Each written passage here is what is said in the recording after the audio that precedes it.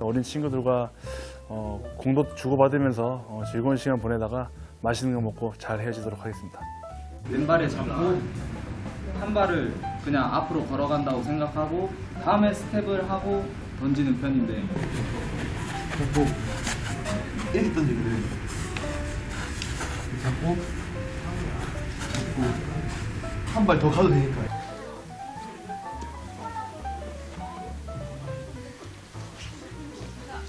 몇 학년이야? 몇 학년이야? 5학년. 저요. 다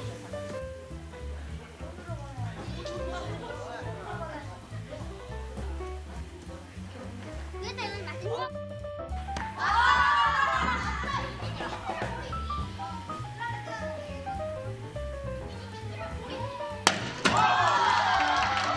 시범만 보여줄게. 시범만 보여줘. 너 제일 먼저. 그두 번째로. 어, 너 두 번째. 어, 세 번째. 자, 여기 너무 너무 이렇게 뒤에서 치면 안 돼. 공을. 공을 뒤에서 치면은 힘을 못 써, 힘을. 그러니까 살짝 뒤에서 팔을 들고 팔을 좀 펴보고 치면 돼.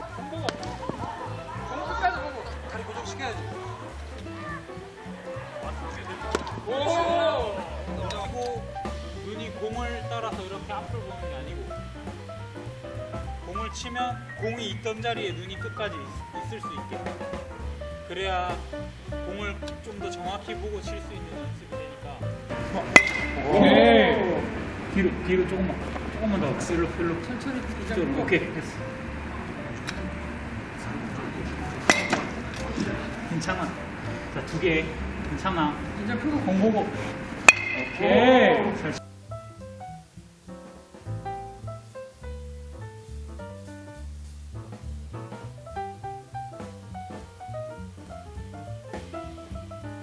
저는 매동초등학교 교사 김여정입니다.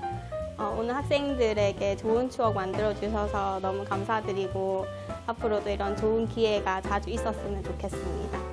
저희 반 남학생들이 꿈이 야구 선수들이 많은데 꼭 어, 꿈을 이루고 미래에 꼭 이 라이온즈 파크에서 좋은 선수가 될 수 있도록 응원하겠습니다.